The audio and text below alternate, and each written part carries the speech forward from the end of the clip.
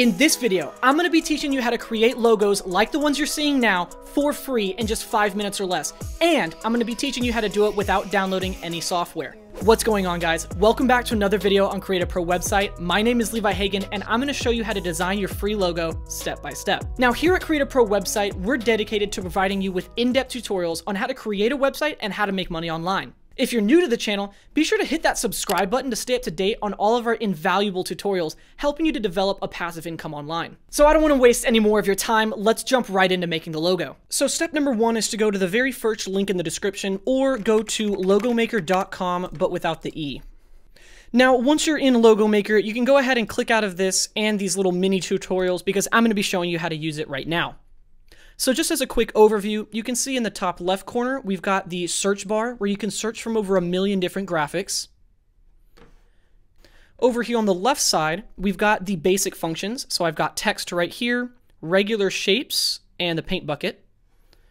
And then over here on the right hand side, I've got the color wheel, where on the wheel, I can change the color. The center square, I can change the saturation. And then this slider is for opacity. Okay, so step number two is to create an icon. So I'm going to go ahead and go up to the top left corner and search for my own icon. But before I do, I wanted to show you that you can actually click on these categories, like the abstract category, and you can get a whole bunch of different abstract logos that you can choose from. Or I could try sketches, or decorative, and so on. And you guys get the idea. Now, instead of using one of these, I'm actually going to go ahead and click back up in the search bar and search my own. So I'm going to be looking for a traffic cone. And as you can see, I can already search from over a million different traffic cones, but I'm going to go ahead and just choose this one. And then you can go ahead and do different things to your icon as well, like resizing it. So I can click on the corner and drag it out.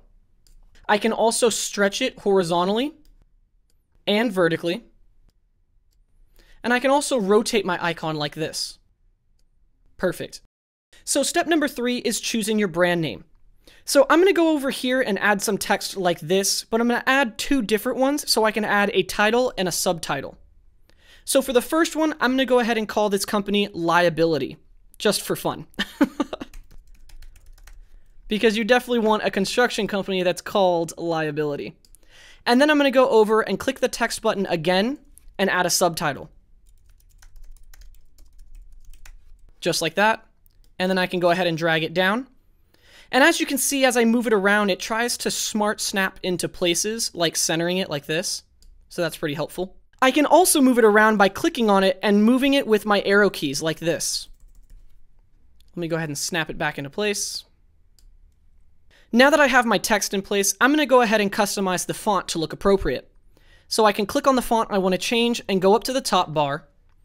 And you've got the font category right here and I can choose decorative, fun and funky, scary, or handwriting. But I'm going to go ahead and stick with simple and modern. And then you can change the font itself, and I'm going to scroll all the way up to the top and choose this one.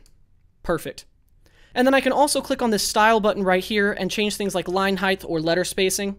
But all I'm really going to do is just increase the size, so I'm just going to click on the corner and drag it out. Perfect. And then I can click on the bottom one, and I actually will increase the letter spacing of this guy. And decrease the size till it looks like this. All right, and now I'm going to center it. Perfect. So step number four is to choose your colors. So now I'm going to go ahead and change the colors of my logo. So whatever you have highlighted is what the color is going to be applied to. So I'm going to click on my traffic cone and go over to my color wheel. And I can change the color by choosing the outside of the circle, so something like this. And then I can change the saturation, so I can make it more gray or more colorful. And then I can also change the opacity, but I'm going to leave it fully opaque. I can also highlight multiple things at the same time like this and change the color of both of my text functions. So I'm going to change it to black. And I think that looks perfect. Okay, so step number five is to download your logo. So in order to do that, we're just going to go up to the top right corner and click on the save logo right here. Now this is important. If you see here, it's asking if I want to download the high resolution file, which I will say no right here and click on no thanks, I'll take the low resolution file. The low resolution file is free and the high resolution file is not. If you want the high resolution logo, then you'll have to pay for it. Considering that it's free and it works, I usually just use the low resolution file, but it's your choice to pay for something nicer. So I'm going to click on no thanks, download the low resolution file. And as you can see, it's already downloaded to my computer. Now, once you have a place that you saved it on your computer, you finally have your custom logo. You'll notice that it saves as a PNG file, which is really important because the file leaves the background as transparent, so you can put the logo on top of anything you want. And lastly, if you ever want to save your place in the logo so that you can come back and edit it later, all you have to do is click on the saved logo URL right here and copy it to your clipboard, just like that.